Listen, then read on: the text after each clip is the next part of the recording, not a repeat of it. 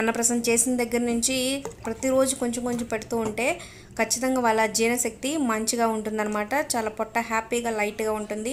అలాగే మన దక్షిణ భారతదేశంలో ప్రతిరోజు తీసుకునే వాళ్ళు కూడా ఉన్నారనమాట అంత హెల్తీ అనమాట మరి ఎలా? చేయాలో చూద్దాం. ముందుగా చింతపండు రసం పిండి పెట్టుకోండి. లేదా కొంతమంది డైరెక్ట్గా చింతపండు వేసి వాటర్ వేస్తారు.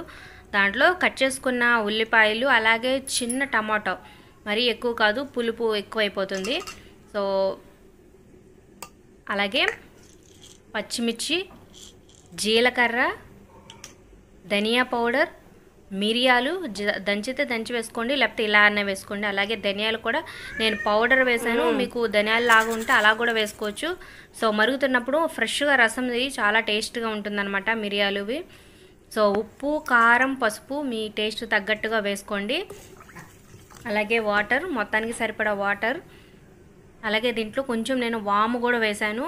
సో అది కూడా జీర్ణశక్తికి చాలా మంచిదనమాట సో ఇవన్నీ కలిపి వేసి హై ఫ్లేమ్లో ఒక మూడు పొంగులు వచ్చే వరకు చక్కగా అవన్నీ ఉడికే వరకు మరిగించుకోండి. సో దీంట్లో చిన్న బెల్లం ముక్క కూడా వేయండి. సో చేదు వగర ఏమైనా ఉంటే అంతా అడ్జస్ట్ చేస్తుంది అనమాట దీంట్లో మామూలు ఉప్పు కాకుండా కళ్ళు ఉప్పు వాడితే ఇంకా మంచిది.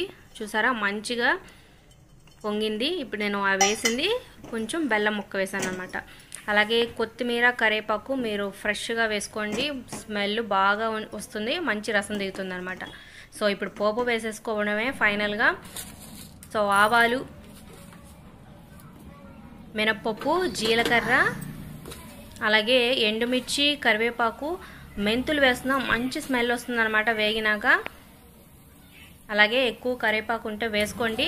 వేసుకొని చక్కగా తిరగమూత పెట్టేసుకోండి. నాకు కరివేపాకు అవైలబుల్గా లేదని కొత్తిమీర వేశాను. సో మంచి స్మెల్ వస్తుంది. పోపు వేసి ఒక రెండు నిమిషాలు మూత అలాగే ఉంచండి. స్మెల్ బాగా పట్టుకుంటుంది. అంతే చాలా సింపుల్గా లైట్గా ఉండేది.